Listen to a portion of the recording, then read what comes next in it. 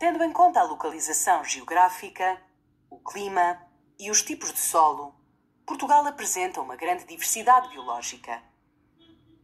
Vejamos alguns habitats particularmente ricos em vida animal.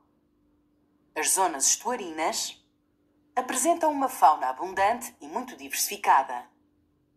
Desta podem-se destacar aves como o pilrito comum, o corvo marinho, a gaivota e a garça branca pequena.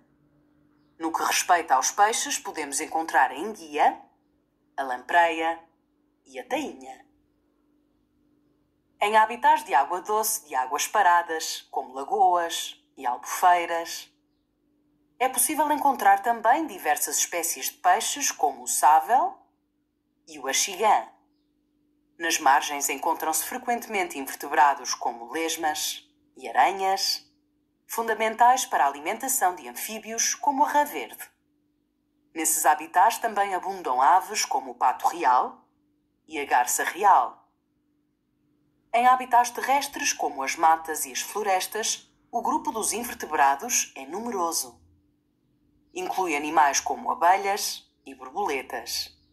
Estão também presentes mamíferos como o javali, o coelho bravo, o esquilo vermelho e a raposa, fundamentais para o equilíbrio desses ambientes.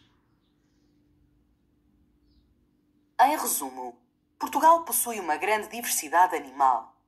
Alguns ambientes, como as zonas estuarinas, as lagoas e albufeiras, e as matas e florestas, são habitats com uma elevada biodiversidade animal. Neles podemos encontrar uma fauna abundante e diversificada.